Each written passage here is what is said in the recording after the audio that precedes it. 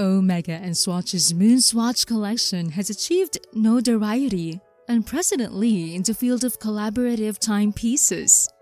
Last 2022, the two Swiss watch titans, part of the Swatch Group, generated quite a stir when they collaborated to deliver the original bioceramic moon swatches.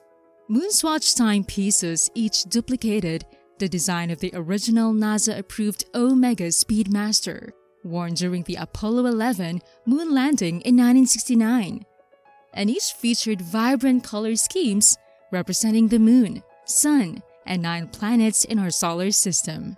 Owing to the iconic status of the watch, the Swatch X Omega joint line ignited pandemonium, resulting in long lines, explosive sales, and unusually significant secondary market activity. Due to high demand and subsequent resale dominance, with hues selling for up to four times the $260 retail price, Omega and Swatch made it their mission to ensure supply would match demand over time, promising that the collection was not intended to be a limited release. With sales predictions aiming for 500,000 units sold by the end of 2022, it's no surprise that Omega and Swatch are preparing to introduce a second generation, Mission to Moonshine Gold.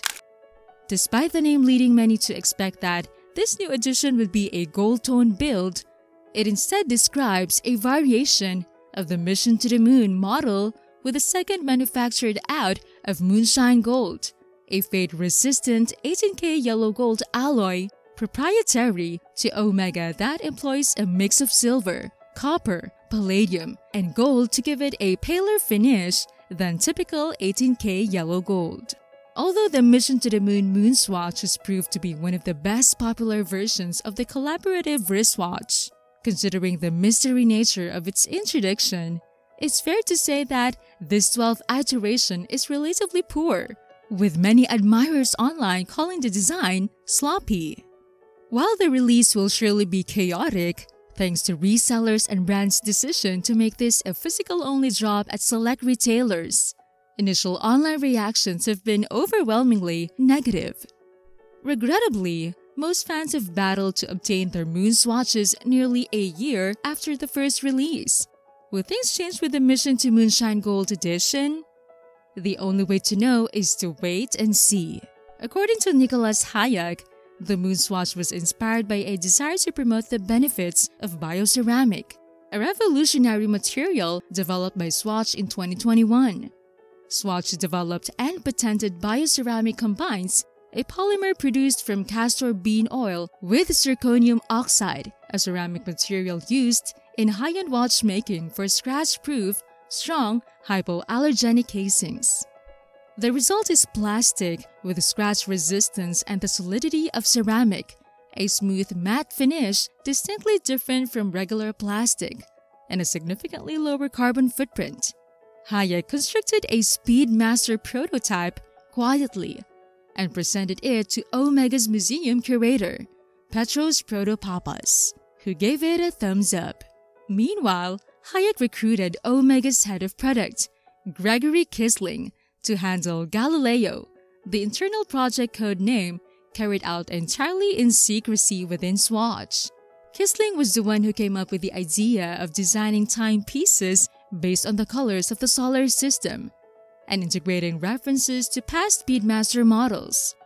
For example, the red and white Mission to Mars model is inspired by the white dial and massive red outer casing of prototypes built in the early 1970s for the Alaska Project, a short-lived research program to create the ultimate timepiece for spaceflight. The orange design on the Jupiter model is inspired by the so-called Ultraman Speedmaster, worn in a Japanese TV show of the same name from the 1970s, another collector favorite.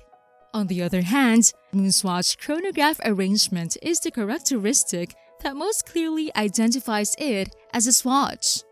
The brand's chrono movement, which has been used for years, has the two upper subdials at 10 and 2 o'clock rather than 9 and 3 o'clock. Only the third subdial at 6 o'clock is an exact reproduction of the original Omega Moonwatch. The Moonswatch is thus out of reach for the majority of people. Prospective customers' displeasure has been exacerbated by the Swatch's ambiguous comments about the likelihood of e-commerce availability. Now, thank you for reaching this point. Let's go back, shall we? According to Esquire.com, the Mission to Moonshine Gold Edition is similar to the existing Mission to the Moon Swatch in steel gray, but with the chronograph hand-coated in gold alloy. It comes in a distinctive gold box with a full moon prediction certificate. Omega's unique material, Moonshine Gold, was introduced in 2019 for its NASA-approved Speedmaster Professional Apollo 11 50th Anniversary Moonshine Gold. The 18K alloy is composed of 75% gold, 14% silver, 1% copper, and less than 9% copper. The copper gives the alloy its distinctive pale color and increases its lifespan. A one-of-a-kind gold Speedmaster-inspired model was made in 1969 to commemorate the Apollo 11 mission's success. Just 1,014 were produced, with 3-28 going to NASA's active astronauts. Numbers 1 and 2 were presented to Richard Nixon, President of the United States, and Spiro Agnew, Vice President of the United States. Both were returned due to their high cost and are now on exhibit at Omega's museum in Biel, Switzerland. Last year, the Moonshine Gold alloy was also used for two Speedmasters. One has a green sunbrushed dial, and the other has a gold one with blackened subdials. They cost 38,400 pounds and 40,300 pounds respectively. The Moon Swatch collection, a collaboration between Omega and Swatch, included 11 pop-themed alternatives in plastic-like bioceramic, Mission to the Sun, Mission to Venus, Mission to Neptune, famously retailed for under 207 pounds when it was released. The Mission to Moonshine Gold Edition is a standalone model, not part of the series' current 11 models. When Swatch introduced the new watch, the internet went crazy, with fans producing eye-popping gold mock-ups of what a Moonshine Gold model may look like. The new model, like its predecessors, will not be offered online but only at Swatch boutiques in London, Milan, Zurich, and Tokyo. Towns were seemingly chosen for their close ties at gold. And that's it! Thank you for watching. If you like this video, don't forget to subscribe to this channel to be updated for upcoming videos like this. Before you leave, what do you think of the Seiko watches?